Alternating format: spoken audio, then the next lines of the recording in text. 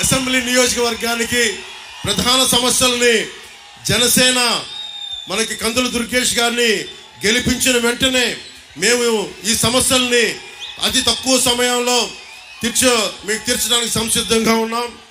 చిన్న కాశీ రేవుకి వెళ్ళే మార్గాన్ని పునరుద్ధరణ చేయడం నిడదవాల్లో వందాడు వంద పడకల ఆసుపత్రి నిర్మాణాన్ని పూర్తి చేయడం నిడదవాళ్ళు పట్టణంలో మనం ఎదుర్కొంటున్న డంపింగ్ యార్డ్ సమస్యని అత్యంత తక్కువ కాలంలో పరిష్కారం చేయటం గోదావరి జలాల్ని నిడదవోలు పట్టణ ప్రజలకి అందేలా చర్య తీసుకోవటం స్వచ్ఛమైన నీటిని ప్రజలకు అందించడం ముఖ్యంగా యువతకి ఒక ఇండోర్ స్టేడియాన్ని నిర్మించడం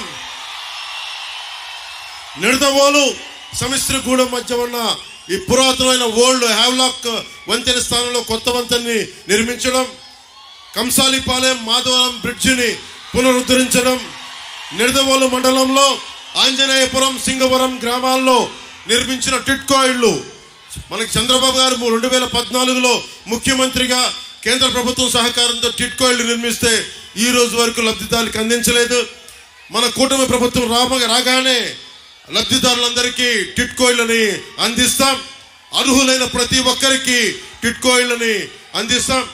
పెరవలి మండలం కేంద్రంలో బస్ స్టాండ్ నిర్మిస్తాం. పెరవలి ప్రభుత్వ ఆసుపత్రిలో మన నేషనల్ హైవే పదహారుకి రోడ్డుకి కొంచెం ఇబ్బందిగా ఉంది. అరటి రైతులు ఇతర రైతాంగం ప్రజలు తణుకు వెళ్ళడానికి ఆ కటింగ్ని వెంటనే రాగానే వచ్చే చర్యలు తీసుకుంటాం. కానూరు నర్స నడుపల్లి తణుకు రోడ్డుని ఆధునీకరిస్తు ఆధునీకరిస్తాం. ముక్కాల నుండి పెరవలి వరి వరకు రోడ్డుని ఆధునీకరణ మర్రెపాలెం బ్రిడ్జిని అందరికి అసౌకర్యంగా ఉంది. దాన్ని వెడల్పు చేయటం. నిడదవోలు అసెంబ్లీ నియోజకవర్గంలో జగన్ పాలనలో రోడ్లు గుంతలమయమైపోయింది. వచ్చిన మూడు నెలల సమయంలోనే గుంతలన్నీ పూడ్చి కొత్త రోడ్లకి మాకు వేసే చర్యలను తీసుకుంటామని తెలియజేసుకుంటూ జనసేన టీడీపీ బీజేపీ కూటమి చేపట్టబోయే ముఖ్య కార్యక్రమాల్లో ప్రతి చేతికి పని ప్రతి చేనుకు నీరు. ఇదే జనసేన టీడీపీ బీజేపీ కూటమి లక్ష్యం. బీసీల భవిష్యత్తుకి గ్యారంటీగా నిలబడతాం.